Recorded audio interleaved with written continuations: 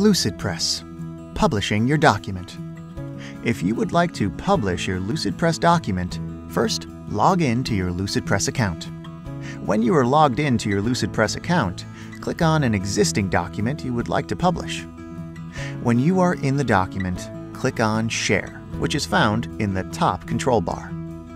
When you click on Share, a drop-down box will appear. Click on Publish a new box will open with five different sharing options.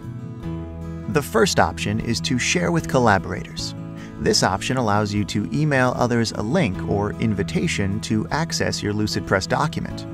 The link or invitation will grant the email recipients access to your LucidPress document with the edit level you grant. The second option is to publish on the web. When you publish on the web, a standard link is generated. You can choose to customize this link.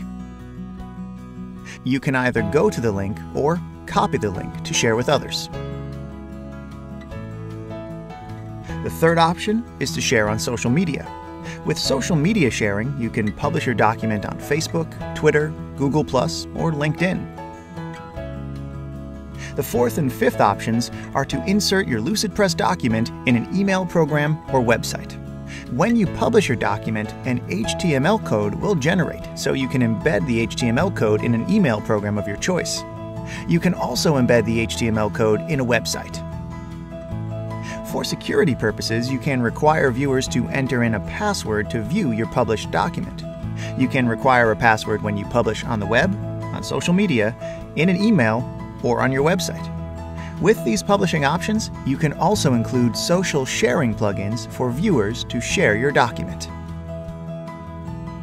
When you make edits to your document after publishing, you will need to republish your document to refresh the published document with the most recent edits. You can do this by clicking on the red Republish button at the top of your canvas. Lastly, if you would like to unpublish your document, click on Share. Next, click on Publish. A new box will open with five different sharing options.